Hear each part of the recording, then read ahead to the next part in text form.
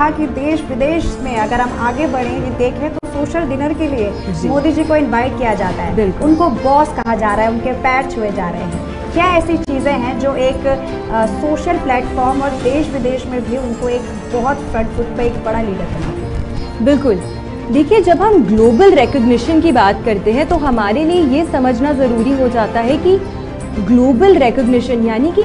सिर्फ़ देश में नहीं विदेश भर में लोग बहुत ही ज़्यादा उन्हें चाहते हैं, उनका सम्मान करते हैं और साथ के साथ उनसे कहीं ना कहीं प्रभावित होते हैं। जब आप किसी से इन्फ्लुएंस होते हैं, किसी को आइडियलाइज करते हैं, उसी समय उसी समय से आपके मन के अंदर से वो भावना आती है कि हम इस व्यक्ति की इज़्ज़त करें, इनका सम्मान करें।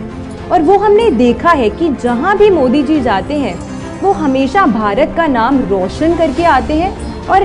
वी बीइंग इंडियंस हमें बहुत गर्व महसूस होता है कि हम एक ऐसे देश के नागरिक हैं जहाँ के जो माननीय प्रधानमंत्री जी हैं, वो देश विदेश में हमारे भारत के झंडे को और भी ज़्यादा बुलंद करते हैं। अब अगर हम एस्ट्रोलॉजिकली बात करते हैं कि क्यों विदेश के लोग भी इतने ज़्यादा अट्रैक्ट होते हैं मोदी जी की तरफ़ और साथ में देश भर के लोग भी हमेशा उनका सम्मान करते हैं, इसकी सीधी वजह यह है कि उनका जो सेवेंथ हाउस है जहाँ से हम पार्टनरशिप भी देखते हैं और पॉलिटिकली फॉरेन अफेयर्स देखते हैं। और साथ के साथ जो कुंडली का बारहवां भाव होता है, इन दोनों ही भावों में शुक्र की राशि स्थित है। और जो शुक्र है, वो शनि देव के साथ टेंथ हाउस में वेल प्लेस्ड है। तो जब सेवेंथ हाउस और ट्वेल्थ हाउस का प्लैनेट दशम, यानी कि कर्म भाव में स्थित हो जाता है, ऐसे में और भी ज़्यादा वेल प्लेस्ड हो जाता है ये प्लैनेट और उसका स्वामी और साथ के साथ ये जो कनेक्शन बनता है वो बहुत ही ज़्यादा मज़बूत करता है इनके फॉरेन रिलेशन को।